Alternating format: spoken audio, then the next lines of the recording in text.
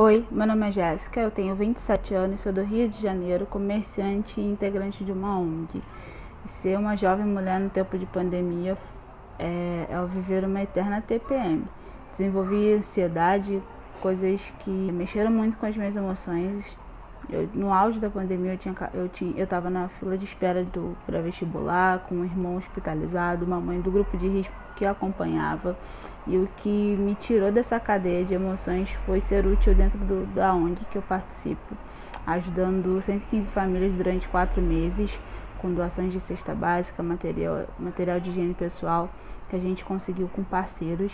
E assim, ficar presa dentro de casa, comer muito, e isso mexer com o corpo, entre outras coisas, mas assim, viver tudo isso foi, eu acho que um dos momentos mais frágeis da minha vida.